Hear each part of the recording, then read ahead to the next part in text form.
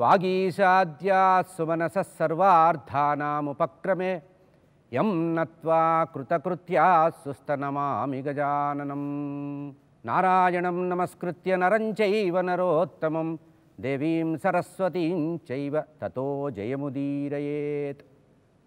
వాగర్ధావివ సంపృక్తౌ వాగర్ధ ప్రతిపత్తయే జగతః పితరౌ వందే పార్వతీ పరమేశ్వరౌ. ఈ మాసమంతా కూడా పరమేశ్వరుడి యొక్క తన్మయత్వంలో పరమేశ్వరుడి యొక్క అనుగ్రహ ప్రాప్తి కోసం రోజుకొక కార్యక్రమాన్ని రోజుకొక అధ్యాయ పారాయణ ఒక స్తోత్ర పారాయణ అటువంటి కార్యక్రమాల్ని మనం నిర్వహించుకుంటున్నాం. ఈరోజు శివాష్టకానికి సంబంధించినటువంటి పారాయణ ఉంటుంది. ఈ కార్తీక మాసం హరిహరాత్మకము అన్నారు. హరిహరాత్మకం అంటే శివ విష్ణు సమానమైనటువంటిది అన్నమాట. సాధారణంగా ఏ నెల ఏ మాసమైనా సరే ఏదో ఒక దైవానికి ప్రాతినిధ్యం ఉంటుంది. కానీ కార్తీక మాసంలో శివ విష్ణు సమ్మిశ్రంగా ఉంటుంది.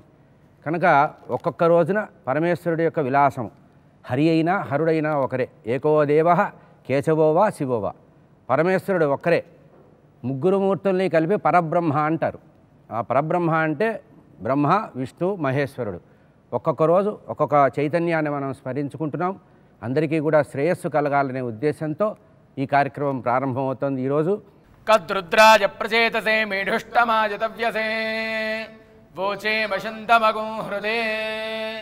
गौरीमिमायसलिलानितक्षत्येकपदे द्विपदे सा चतुष्पदे अष्टापदे, नवपदे बभूवुषि सहस्रा अक्षरा परमे व्योम ओं मम उपत्ता समस्त दुर्दक्षे द्वारा श्री परमेश्वर मुद्दिश्य परमेश्वर प्रीत्यर्थम शुभाभ्याम शुभाभ्युदयाथ शुभे शोभने मुहूर्ते सिंहाविष्णोराग्नया प्रवर्तमानस्य द्वितीय द्वितीयपरार्थे श्वेतवराहकल्पे वैवस्पदमन्वन्तरे कलियुगे प्रथम पादे जम्बूद्वीपे भारतवर्षे भरतखण्डे मेरोर्दक्षिणदिग्भागे श्रीशैलस्य वायव्यप्रदेशे कृष्णागोदावर्योर्मध्यप्रदेशे समस्तदेवता ब्राह्मण हरिहरगुरुचरणदैवसन्निधौ अस्मिन् वर्तमानव्यावहारिकचान्द्रमानेन प्रभवादि षष्टिसंवत्सराणां मध्ये शार्वरीनामसंवत्सरे दक्षिणायने शरदृतौ कार्तिकमासे कृष्णपक्षे अष्टम्यां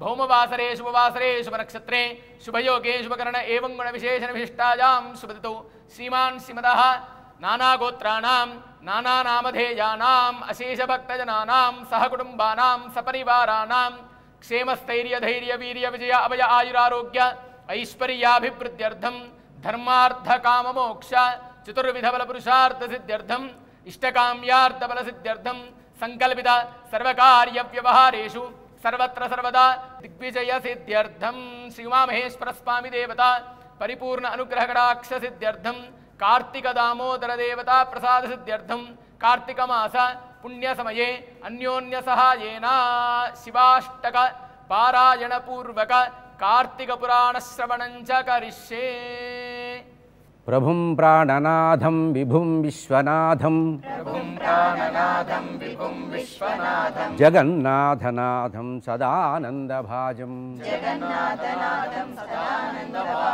भवद्भव्यभूतेश्वरं भूतनाथं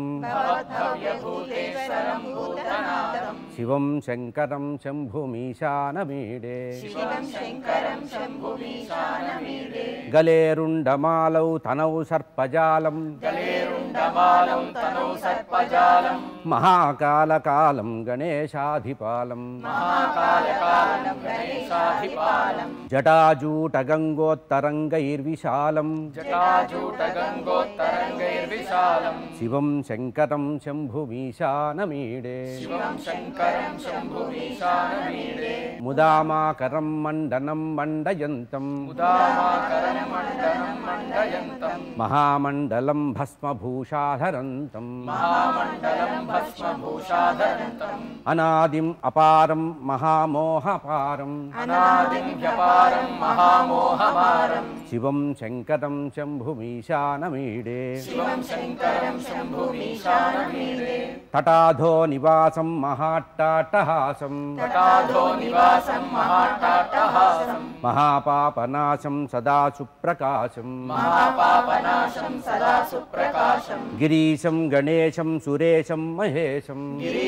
గణేశం సురేశం మహేశం శివం శంకరం శంభుమీశానమీడే శివం శంకరం శంభుమీశానమీడే గిరీంద్రాత్మజా సంగృహీతార్థదేహం గిరీంద్రాత్మజా సంగృహీతార్థదేహం గిరౌ సంస్థితం సర్వదా సన్నిగేహం గిరౌ సంస్థితం సర్వదా సన్నిగేహం పరబ్రహ్మ బ్రహ్మాధివిర్వంద్యమానం పరబ్రహ్మ బ్రహ్మాదిభిర్వంద్యమానం శివం శంకరం శంభుమీశానమీడే శివం శంకరం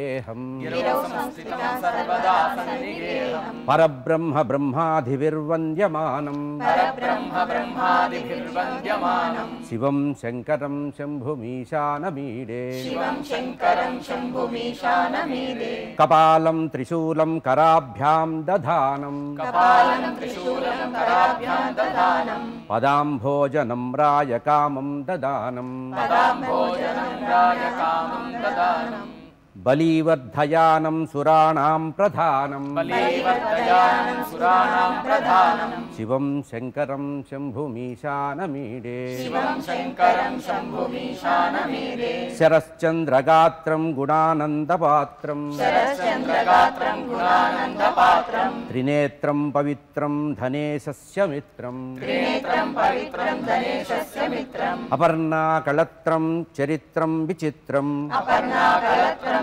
చరిత్రం విచిత్రం. శివం శంకరం శంభుమీశానమీడే శివం శంకరం శంభుమీశానమీడే హరం సర్పహారం చితాభూమిహారం. హరం సర్పహారం చితాభూవిహారం భవం వేదసారం సదా నిర్వికారం. భవం వేదసారం సదా నిర్వికారం. శ్మశానే వసంతం మనోజం దహంతం शिवं शङ्करं शम्भुमीशानमीडे। शवं यः प्रभाते नरःसूलपाणे पठेत् सर्वदा भर्गवानुरक्तः। सपुत्रं धनं धान्यमित्रं कळत्रम् विचित्रैः समाराध्य मोक्षं प्रयाति। ఇది శ్రీ శివాష్టకం సంపూర్ణం శ్రీ శివాష్టకం సంపూర్ణం కాంత పురాణ అంతర్గతమైనటువంటి కార్తీక పురాణంలో ఇరవై మూడవ అధ్యాయంలో ప్రత్యేకంగా చెప్పబడింది ఏంటంటే ఉపవాస నియమానికి సంబంధించిన వివరం చెప్పారు. అత్రి మహాముని అగస్త్యుల వారికి చెప్పినట్లుగా ఈ అధ్యాయం యొక్క కథ చెప్పబడింది. మహాత్మా ఓ అగస్య నీవు పరమాత్మ యొక్క పరమ కృపా విశేషం నీ ఎందు ఉండడం వల్ల అనేకమైనటువంటి కార్తీక మాసానికి సంబంధించిన అనేక విశేషాలు వింటున్నావు. నీ యొక్క పురా పురాకృతమైనటువంటి పుణ్య విశేషం ఉంటే కానీ ఇటువంటి భగవంతుడి పట్ల మనసు రావడం అనేది సాధారణంగా రాదు. పూర్వజన్మలో చేసినటువంటి కర్మ సత్కర్మల యొక్క ఫలితంగా భగవంతుడికి సంబంధించింది. ఇప్పుడు మనం కార్తీక మాసానికి సంబంధించినటువంటి వ్రతం కానీ ఉపవాసం కానీ స్నానం కానీ దానం కానీ ఆచరిస్తున్నామంటే పూర్వజన్మలో ఉండేటువంటి ఒకానొక ముఖ్యమైనటువంటి పవిత్రమైనటువంటి ఏదో కార్యం చేయడం వల్ల మన మనసు అటు వెళ్ళిపోతుంది. మన ఏవ మనుష్యానాం కారణం బంధమోక్షయే. మనకు సంబంధించినటువంటి సమస్తమైనటువంటి భవబంధాలకు సంబంధించి పూర్వజన్ మనస్సే కారణం కనుక ఈ మనస్సం మనస్కారకుడు చంద్రుడు ఆ చంద్రుడికి పరమాత్మ ఆధారం. కనుక పరమాత్మకు సంబంధించినటువంటి అనేకమైనటువంటి గుణాలు వినాలని నువ్వు అనుకుంటున్నావు నాయన. ఈరోజు నీకు ఏకాదశి ద్వాదశికి సంబంధించినటువంటి విషయాన్ని చెప్తున్నాను అన్నారు. ఏకాదశి మహావిష్ణువుకి అత్యంత ప్రీతిపాత్రమైనటువంటి విషయం కాగా ద్వాదశి చాలా విశేషమైనది. మామూలుగా ఏకాదశి గురించే మనం ఎక్కువగా భావన చేస్తాం. ద్వాదశి యొక్క విశేషం చెప్పడం ఇక్కడ చెప్పడం జరుగుతోంది. మామూలుగా శ్రీమద్ భాగవతం ఒక మాట చెప్పింది. పరమ భక్తాగ్రగణ్యులు భాగవతోత్తములు ఉన్నారు. ప్రహ్లాద నారద పరాశర పుండరీక వ్యాస అంబరీష సుఖ శౌనక భీష్మదాల్భ్యాం రుక్మాంగద విభీషణాదీన్ పుణ్యామిమాన్ పరమ భాగవతాన్ స్మరామి. పరమ భాగవతోత్తముల యొక్క ఏకాంత భక్తులట వీళ్ళంతా. వీళ్ళల్లో మధ్యలో ఉన్నది అంబరీష చక్రవర్తి. అంబరీషుడు చాలా పవిత్రమైనటువంటి వ్యక్తి రాజర్షి రామచంద్రమూర్తి జన్మించినటువంటి సూర్యవంశంలో జన్మించినటువంటి అంబరీష చక్రవర్తి యొక్క కథ చెప్తున్నాను నాయన. కేవలం చక్రవర్తిగా సంపన్నుడిగా రాజు రాజర్షి అని చెప్పడం లేదు. మహావిష్ణు భక్తుల్లో అత్యంత అగ్రగణ్యుడైనటువంటి వారు. అనంతమైనటువంటి ఐశ్వర్యం ఉన్నా భోగభాగ్యాలున్నా ఎంతో విలువైనటువంటి జీవితం ఉన్నప్పటికీ కూడా మనస్సునంతా కూడా హరి మీద అంకితం చేశారట. కేవలం హరియే గతి అనుకున్నారు. పరమాత్మ కంటే ఇతరమైనటువంటి వస్తువు లేదని ఏ పని చేస్తున్నా హరిభావన చేశారట. ఈ అంబరీషుడి యొక్క గొప్పతనం ఏంటంటే వ్యాస భగవానుడు చెప్తున్నారు ఇక్కడ. ఏ పని చేసినా హరిని స్తోత్రం చేస్తారట. మంచినీళ్ళు కావాలి అంటే హరి అంటారట. ఆహారం కావాలంటే కృష్ణ అంటారట. ఇట్లా భగవంతుడి యొక్క నామాలతోనే తన దగ్గర ఉండేటువంటి వస్తువులు నిత్య నైమిత్తిక కృత్యాలన్నీ కూడా భగవన్నామంతో లీనం చేసుకున్నారు. అయ్యా సూర్యవంశానికి సంబంధించినటువంటి అంబరీష్ చక్రవర్తి ఉన్నారు. ఆ చక్రవర్తి నిరంతరము కూడా హరి యొక్క వ్రతం చేసేవారు. భాగవత రీత్యా ఏం చెప్పారంటే సంవత్సర కాలం చేశారటండి. ఏకాదశి వ్రతాన్ని సంవత్సర కాలం చేశారట. అంటే పన్నెండు ఏకా ఇరవై నాలుగు ఏకాదశులు పన్నెండు నెలల్లో చేశారట. భాగవత రీత్యా చెప్పారు. అయితే ఈ కార్తీక మాసంలో వచ్చే ఏకాదశి ఉద్యాపన అన్నారు. అంటే తన యొక్క సంవత్సరంలో ఉండేటువంటి ఏకాదశి వ్రతానికి ముగింపుగా చెప్పబడినటువంటి కథ. ఈ ఏకాదశి వ్రతానికి సంబంధించి అంబరీష కథకి సంబంధించి శ్రీమద్ భాగవతము స్కాందవ పురాణము పద్మపురాణము బ్రహ్మవైర్త పురాణం కూడా ప్రత్యేకంగా దీని ప్రసక్తి చేస్తోంది. అంటే ప్రధానంగా చెప్పబడినటువంటి విషయం ఏంటంటే శివకేశవుల యొక్క అభిన్నత్వాన్ని చెబుతూ శివ శివభక్తుల్ని విష్ణు భక్ విష్ణు భక్తుడు వచ్చి పరీక్షిస్తాడు. విష్ణు భక్తుల్ని శివభక్తులు వచ్చి పరీక్షిస్తారు అని చెప్పడానికి స్వయంగా పరమేశ్వరుడే ఇక్కడికి అంబరీషుడిని పరీక్షించడానికిగా వచ్చినట్లుగా దుర్వాస మహర్షి అత్రి మహాముని యొక్క కుమారుడైనటువంటి దుర్వాస మహర్షి పరీక్షార్థం వచ్చారట. మహాభక్తుల్లో విష్ణు భక్తుల్లో ఆ అంబరీష చక్రవర్తి చాలా గొప్పవాడయ్యా అని చెబుతుంటే దేవసభలో విని పరిగెత్తుకుంటూ వచ్చాట ఏ విష్ణు భక్తుడు నాకంటే విష్ణు భక్తుడు ఉన్నాడా? అని. ఎందుకంటే శంకర్ల వారు సాక్షాత్తు విష్ణు భక్తుడట. మహావై మహావైష్ణవుడు ఎవరు అంటే కేవలం శ- శంకర్ల వారే అన్నారు. అటువంటి ఆ దుర్వాస మహర్షి పరీక్షించడానికి వచ్చారట. ఇక్కడ జరుగుతున్నటువంటి కథ ఏంటంటే ఏకాదశి ఉపవాసం చేశారు. దశమి నాడు ఏకభుక్తం చేసి ఏకాదశి నాడు పూర్తిగా ఉపవాసం చేసి మహా విష్ణు ప్రీత్యర్థం అభిషేకం చేసి పూర్తిగా ఉపవాసం నిట్రుపవాసం అంటారు. అంటే పూర్తిగా ఏమీ తీసుకోకుండా ఉపవాసం ఉండి ద్వాదశి రోజున త్వరగా మేలుకొని పరమాత్మకు సంబంధించినటువంటి పురుషో పురుష సూక్త విధానంతో గోక్షీరంతో అభిషేకం చేసి బ్రాహ్మణులందరికీ కూడా ఉచితమైనటువంటి భోజన సదుపాయాలు ఏర్పాటు చేసి తాను భోజనానికి కూర్చోవాలనేటువంటి సందర్భం ఇక్కడ కథలో వస్తోంది మనకి. అటువంటి సందర్భంలో అభ్యాగత స్వయం విష్ణు అనుకోకుండా వచ్చినవాడు విష్ణుమూర్తి అది గుర్తుపెట్టుకోవాలి. ఈ కాందపురాణం ప్రత్యేకంగా చెప్తోంది ఏంటంటే ఎవరైనా మధ్యాహ్న సమయంలో మన భోజనం చేసే సమయంలో కనుక వస్తే అతను స్వయంగా నారాయణమూర్తి అని భావన చేయాలి. ఏదో పనివాడు వచ్చారు వారు వచ్చారు వీరు వచ్చారు ఉన్నవారు వచ్చారా లేనివారు వచ్చారా మన వర్ణం వారు వచ్చారా ఇతర ఇది చూడకూడదట. స్కాంద పురాణం చాలా స్పష్టంగా చెప్పింది ఏంటంటే అభ్యాగత స్వయం విష్ణు అనుకోకుండా భోజన సమయంలో వచ్చిన వారు నారాయణమూర్తి తప్పించి ఇంకోరు రారు. కనుక ఈ అంబరీష చక్రవర్తి ఉపవాసాన్ని వదులుదాము అనుకున్నారు. ఆ రోజు అనుకోకుండా విచిత్రంగా దైవ ఘటన ఎట్లా ఉందంటే ద్వాదశి రోజున ద్వాదశి ఘడియలు చాలా తక్కువగా ఉన్నాయట. అంటే త్వరగా ద్వాదశి వెళ్ళిపోయి త్రయోదశి ప్రవేశిస్తోంది. పురాణాల్లో చెప్పినటువంటి ఏకాదశి మహాత్యంలో చెప్పబడినటువంటి విశేషం ఏంటంటే ఏకాదశి ఉపవాసం ఎంత విశేషమో ద్వాదశి వదిలిపెట్టడానికి ఉపవాసాన్ని వదిలిపెట్టడానికి ద్వాదశి గడియలు వెళ్ళే లోపే చేయాలట. ద్వాదశి గడియ కనుక వెళ్ళిన తర్వాత కనుక ఉపవాసాన్ని వదిలితే పాపం వస్తుంది పుణ్యం రాకపోగా ఏకాదశి ఫలం రాకపోగా విలోమ ఫలితం వస్తుంది కనుక అది రాకుండా ఉండాలి అనుకున్నారు. సరే భోజనానికి కూర్చుందాం అనే సందర్భంలో మహానివేదన అయిపోయింది. భోజనానికి కూర్చుందాం అనే సందర్భంలో దుర్వాస మహర్షి పరీక్షార్థి అయి వచ్చారట. ఇంటికి వచ్చారు. రాగానే అతిథి మర్యాదలు చేసి స్వాగత సత్కారాలు చేసి పాద ప్రక్షాళన చేసి శిరస్సును జల్లుకొని మహాత్మా రాక రాక వచ్చారు. అభ్యాగత స్వయం విష్ణు అన్నారు. పరమాత్మ మీ యొక్క రూపంలో వచ్చారు విష్- నారాయణమూర్తి. మీరు మా ఇంట్లో ఈరోజు భోజనం చేయాలి ఉపవాసాన్ని వదిలించాలట. తాను ఉపవాసాన్ని విడవడం ఎంత పుణ్యమో ఉపవాసాన్ని విడిచిపెట్టడానికి ఇంకొకరికి భోజనం పెట్టడం కూడా అంత పవిత్రమట. ఇప్పుడు రోజులు మారినాయి. తలుపులు వేసుకొని భోజనం చేస్తున్నాం కానీ పూర్వకాలంలో గ్రామాల్లో భోజనం చేసే ముందు నాలుగు వీధులు తిరిగి ఎవరైనా కొత్త వ్యక్తి ఆ గ్రామానికి వచ్చారేమో పిలిచి కూర్చోపెట్టి అతనికి హస్తోదకం వేసి భోజనం చేసేవారు. కాలం మారుతోంది. ఒకరికి పెట్టినదే ప్రధానమండి. ఈరోజు మనం పెడితే మనకి అనంతర జన్మల్లో ముడుతుంది. అన్నము సర్వజీవ ప్రధానం. అన్నదానం కంటే గొప్పది లేదు. ఒక వ్యక్తికి నారాయణ ప్రీతిగా భోజనం సమర్పించినప్పుడు అంతకంటే ఫలితం లేదు. అట్లా ఇంటికి వచ్చినటువంటి అంబరీష చక్రవర్తి ఇంటికి వచ్చినటువంటి దుర్వాస మహర్షికి అర్ఘ్యపాద్యాదులు ఇచ్చి మహాత్మా నా పూర్వజన్మ సుకృతం వల్ల అందులో ఉద్యాపన సందర్భంలో పన్నెండు పన్నెండు మాసాల్లో ఇరవై నాలుగు ఏకాదశులు పూర్తి ఇరవై నాలుగో ఏకాదశిలో ద్వాదశి రూపకంగా మీరు అతిథిగా వచ్చారు. స్వయంగా నారాయణమూర్తికే నేను ఆ హస్తోదకం వేస్తున్నాననేటువంటి అదృష్టం నాకు కలుగుతోంది. ఈ అదృష్టాన్ని నాకు కలిగించారు మహాత్మా. మీరు భోజనానికి కూర్చోమన్నారు. లేదు లేదు నేను స్నానం చేసి అనుష్ఠానం చేసి వస్తాను త్వరలో వస్తానన్నారు. వెళ్ళినటువంటి వచ్చి- వచ్చిన వ్యక్తే దుర్వాసులు వారు పరీక్షార్థి అయి వచ్చారు కనుక ఆ పరీక్షార్థి అయి వచ్చినటువంటి దుర్వాస మహర్షి ఎంతసేపటికి రాకుండా నదీ జలంలో స్నానం చేస్తూ జపం అనేటువంటి మిషతో ఉన్నారు. పరీక్షార్థిగా వచ్చారు కనుక ఇక్కడ పరీక్షకు ఒక విషయం గుర్తుపెట్టుకోవాలి. శివ విష్ణు భేదం లేకుండా ఉండాలి. ప్రధానంగా చెప్పబడినటువంటి తాత్పర్యం ఏంటంటే ఈ ఘట్టంలో అయ్యా అంబరీషుడు యొక్క కీర్తిని ప్రతిష్టని లోకలోకాంతరాల్లో శాశ్వతంగా వ్యాపనం చేయడానికి అంబరీష చక్రవర్తి దగ్గరికి ప్రత్యేకంగా వచ్చారు. మహాత్ములు మన ఇంటికి వచ్చారంటే మన అనుగ్రహించడానికి వస్తారు. ఆగ్రహం ఉండదు. బయటికి కనబడేది ఆగ్రహం. నిండు మనము నవ్యనవనీత సమానము. పలుకు దారణాఖండల శస్త్రతుల్యము అన్నారు నన్నయ్య గారు. కనుక మాట గట్టిగా ఉన్న వాళ్ళంతా దుర్మార్గులు కాదు. నిన్ను మనము మనసు నవనీతంలాగా ఉంటుందట. అటువంటి దుర్వాస మహర్షి రాలేదట. చూసుకున్నారు. ద్వాదశ గడియలు వెళ్ళిపోతున్నాయి. శాస్త్రం బాగా తెలిసినవాడు. మహావిష్ణు భక్తుడు కనుక అంబరీష చక్రవర్తి శాస్త్రం బాగా తెలిసినవారు కనుక మనసులో అనుకున్నారు వేదన పడుతున్నారు. ద్వాదశి వెళ్ళే లోపల పారణ చేయాలి. పారణ అంటే ఒక్క పొద్దు విడవడం. ఉపవాసాన్ని వదలడాన్ని పారణ అంటారు.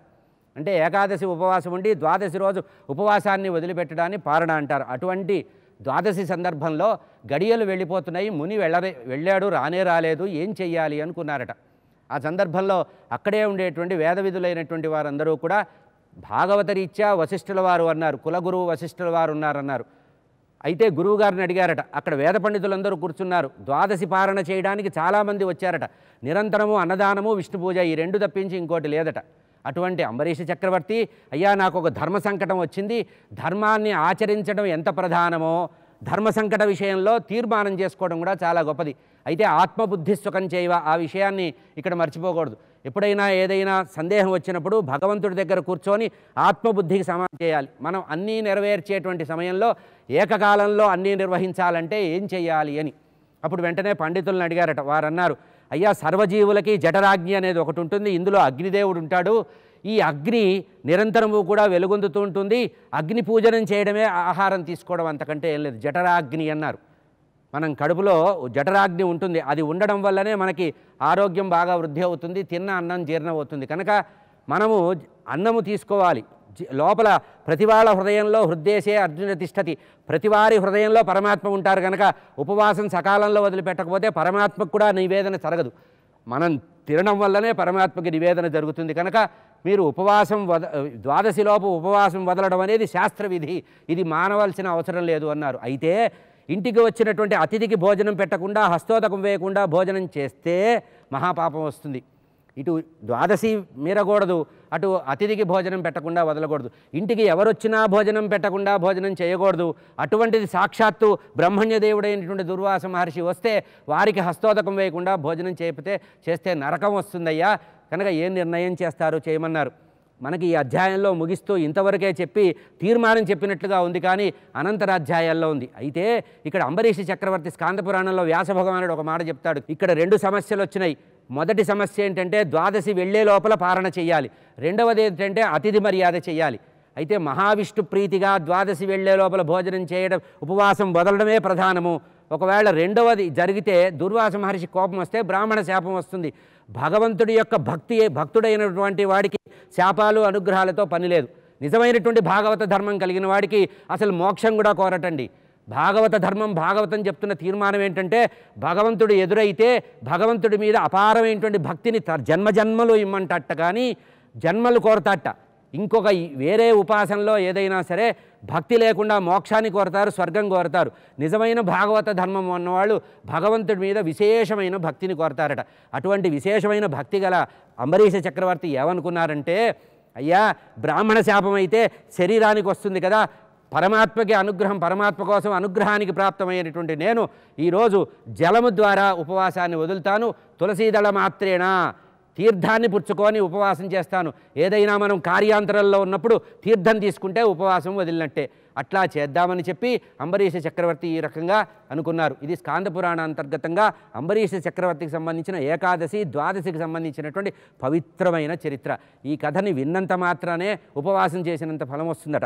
స్వస్తి ప్రజాభ్య పరిపాలయంతాం న్యాయేన మార్గేణ మహిం మహిషా गोब्राह्मणेभ्य शुभमस्तु नित्यं लोकाः समस्ता सुखिनो भवन्तु। व्यक्ता व्यक्त गुणेतरम परतरम व्यक्ताव्यक्तगुणेतरं तस्मादुत्तम षट्त्रिंशदत्वात्मकम्। विदम धेयम सदा योगिभिः। ओङ्कारादिसमस्तमन्त्रजनकं सूक्ष्मादिसूक्ष्मं परम्। शान्तं पञ्चममीश्वरस्य वदनं खं व्याप्ति तेजोमयम्। ॐ नमो हिरण्यवाहवे हिरण्यवर्णाय हिरण्यरूपाय हिरण्यपतयेऽम्बिकापतये पशु पशुपतये नमो नमः। सम्राजं च विराजं चाभिश्चेर्यासनो गृहे लक्ष्मीराष्ट्रस्य या मुखे तया मासकं सृजामसि। उमामहेश्वरस्वामिने नमः। कार्तीकदामोदराज नमः।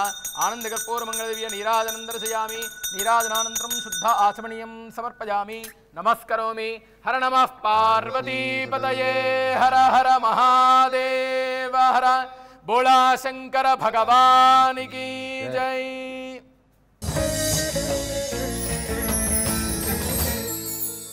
ఈటీవీ యాజమాన్యం వారు ప్రతిరోజు ఈ కార్యక్రమంలో చివరి అంశంగా ఒక మహాక్షేత్ర దర్శనం ద్వాదశి జ్యోతిర్లింగ దర్శనానికి సంబంధించినటువంటి విశేషాలను వివరిస్తున్నారు. ఈరోజు మనము భీమేశ్వర క్షేత్రం భీమేశ్వర స్వామి పరమాత్మ యొక్క అపారమైనటువంటి ఆయన అనంతమైనటువంటి బలాన్ని ఇస్తారట. ఈ క్షేత్రాన్ని ఎవరైతే నయనానందకరంగా చూస్తారో వారికి అపారమైనటువంటి బలం వస్తుందట. బలం అంటే శారీరకమే కాదు మానసికమైనటువంటి ఆధ్యాత్మికమైనటువంటి చైతన్యం బలం కూడా వస్తుందట. అటువంటి భీమేశ్వర స్వామి దర్శనాన్ని సాక్షాత్తుగా దర్శిద్దాం.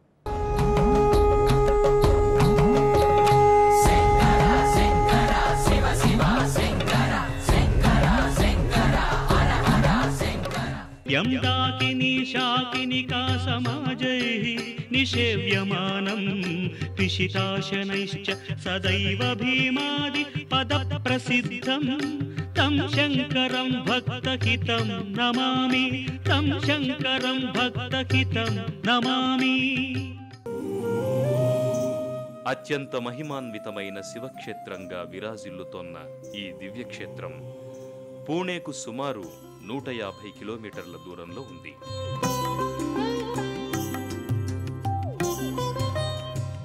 భక్తులకు ఓ అద్వితీయమైన అనుభూతుల్ని స్వంతం చేసే ఈ క్షేత్రం పూణే జిల్లాలో ఖేడ్ తాలూకా ఘోడేగావ్ ముందు గల సహ్యాద్రి పర్వత శ్రేణుల్లో ఉంది.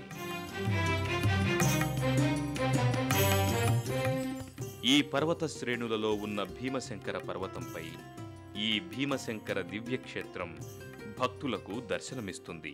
జటాకటాహ సంభ్రమ భ్రమన్నిలింప నిర్ఝరి విలోల వీచి వల్లరి విరాజమానమూర్ధని ధగద్ధగద్ధగజ్వలల్లలాట పట్ట పావకి కిశోర చంద్రశేఖరే రతి ప్రతిక్షణం మమ హరాధరేంద్ర నందిని విలాస బంధు బంధురస్ఫురదృగంత సంతతి ప్రమోదమాన మానసి కృపాకటాక్ష ధోరణి నిరుద్ధ సుందరాపది కృచిద్దిగంబరే మనో వినోదమేతు వస్తుని.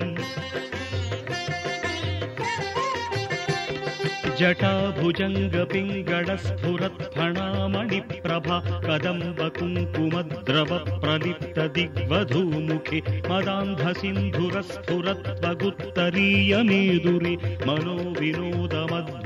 विभर्तृभूतभर्तरि सहस्रलोचन प्रभृत्य शेषलेखशेखर प्रसूनधूलिधोरणि